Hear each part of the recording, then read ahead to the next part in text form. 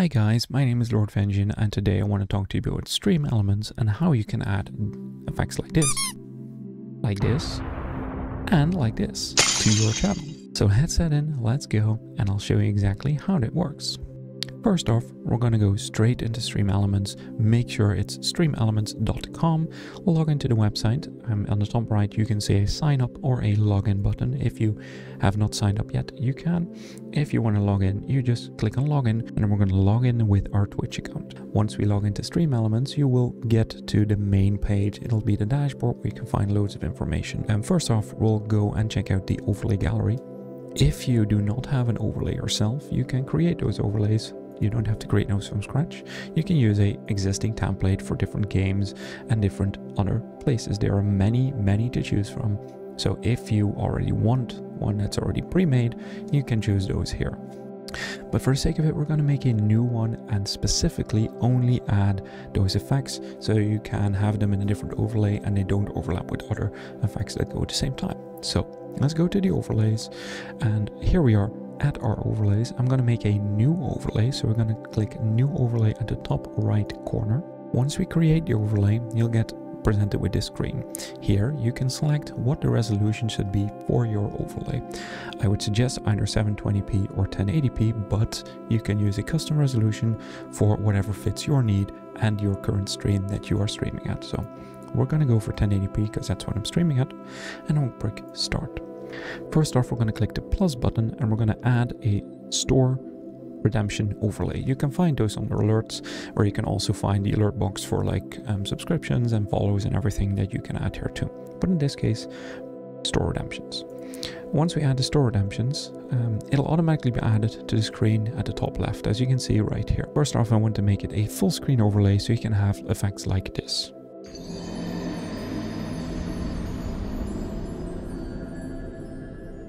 So that means we have a width of 1920 and a height 1080p. 1080p stands for the height, um, so 720p would be 1280 by 720, and then 720 stands for the amount of pixels in the height of the frame, not the width of the frame. Now we have a full screen overlay. Um, every time someone does a redeem, um, I would rather not have text into it. If you want text into the overlay and when someone redeems it, you can add a text right here on the left side. If you don't want that, you can just delete it and it will not show any text when someone does buy something from the store.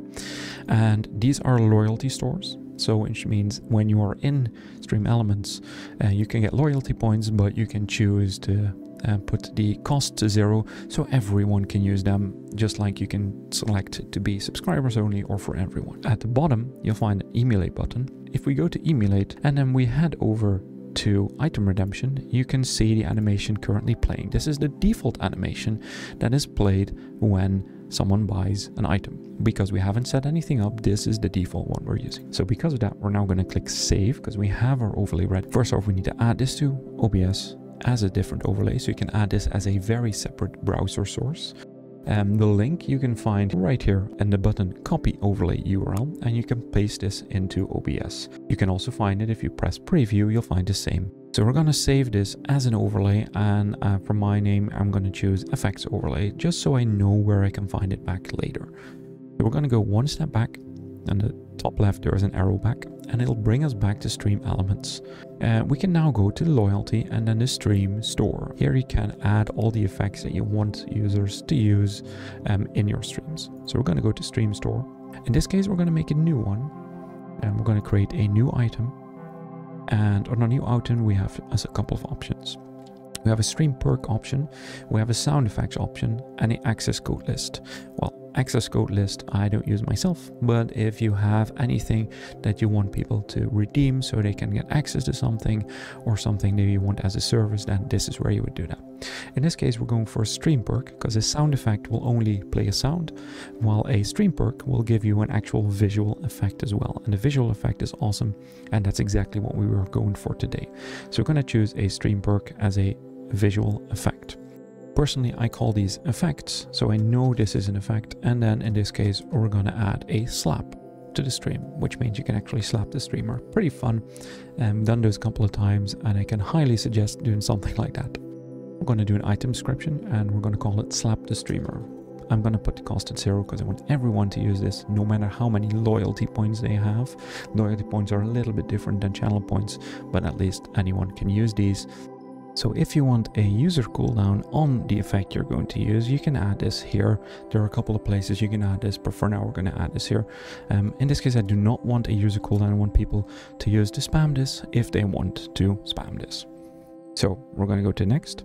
And this is where the magic would happen. Um, of course, you can at the bottom here choose how you want it to be redeemed. You can say send a confirmation message in chat or not when someone redeems it. I would turn this off and I do want to turn subscribers on because I want this to only be available for subscribers. Then we're going to upload a set alert asset and set alert asset will allow me to upload those effects that everyone would like to see. Once we are here, we're going to go to videos and this is where we can find the videos that we want to upload.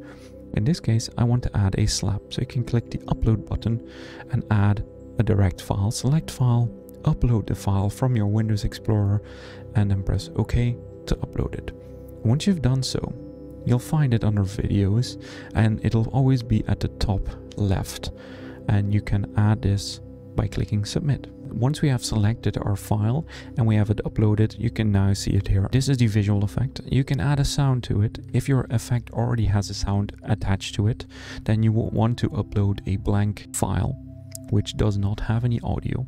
In my case, I have one of those already. So if I scroll down a little bit, I have an empty no sound one, which is actually just a recording of nothing. Um, you could change the volume here up or down if you would like to, but in my case, I have it already set in the asset, so I cannot control the audio from here. Um, if you would do it separately, like you have a GIF, and then a separate file for the audio, you can add it here and change the volume accordingly. Then if you go to the bottom, we need to have the command that is going to trigger this effect. We're going to call this slap and then the full command would be exclamation mark redeem space slap.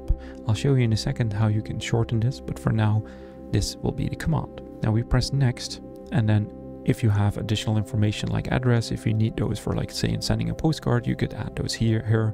If you don't need those, then you're done the way you are. So we're going to click save. The effect slap has now been added. Now that we have added this, we're going to the chatbot and we're going to chat commands. When we get to chat commands, you want to go to your custom commands so you can add a command from yourself. In this case, I already added the slap command. So what we're going to do is we're going to open it and I'm going to show you exactly how it looks. So because we already added this, um, you can click add new command. You'll get the exact same menu here. When you add a command, you can use a command name. Exclamation mark slap is the command we want to use. So I'm going to type in slap here under the command name. And then it's very important for the redeem um, to actually do the exclamation mark redeem space slap command that we added before. To do this without anyone seeing it, you can add a hidden command to Stream Elements that does this for you without having it appear in chat. To do this, you will do a dollar sign, a bracket open, redeem space slap bracket closed. On the right side you can choose to use this as a subscriber or let everyone use this as much as you can. Of course we already had the effect and we added the effect as a subscriber which means you don't have to use this. You could keep this for instance at everyone. We'll go to advanced settings and under advanced settings you can either say use it as a say, reply or a whisper. Replies and whispers, replies go into the chat and whispers go into a direct whisper in Twitch so you would always want to use say so it'll just appear in the chat as we already see. Then we want a user cooldown of zero, because again, I want everyone to use this at their whim whenever they can, and a global cooldown will be zero as well. If you have a command alias, so let's say we have slap, um, and I want someone to use a slaps command, um, so if we do slaps and I press enter, then slaps will be added to the command. This will be an alias, which means if someone types in exclamation mark slaps, it'll do the exact same thing, it'll trigger the exact same effect as exclamation mark slap. And then we're going to save at the bottom to make sure it is saved. So now that we have our command added, I will do exclamation mark slap in chat, which you can see at the bottom left, and this is how it looks. Um, in my case, we already have exclamation mark giant slap, and the reason why we have a giant slap is when we're on this screen, you can use this. Thank you for that. I really appreciate it. Of course, if you can make your own, that's great. If you cannot and you need any help, let me know in the comments down below. Please like and subscribe and we'll hope to see you next time.